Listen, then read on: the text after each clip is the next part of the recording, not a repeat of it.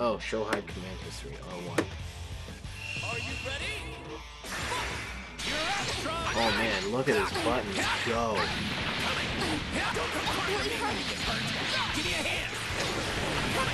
That's crazy.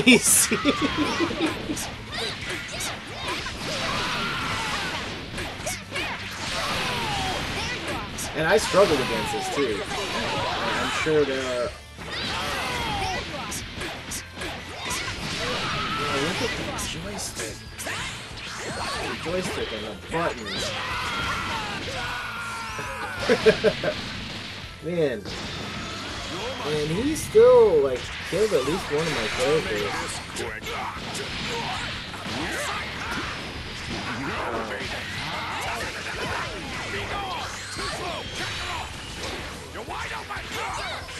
But, but yeah, um, I, I think there's something we can definitely talk about here in terms of fighting games where,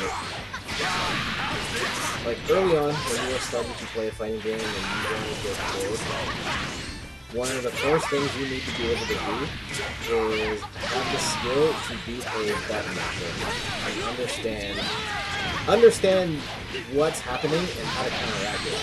And I know it can be tough because like, this guy's literally just spinning the joystick and mashing buttons. But I think in a game like Dragon Ball Z in particular, where mashing buttons is actually I wouldn't say not the worst thing, but like you can auto combo your way to a win every now and then, or like a single. And you just have to be able to pick your spots and understand where they're making mistakes. Understand that oh, if they're just mashing buttons, be.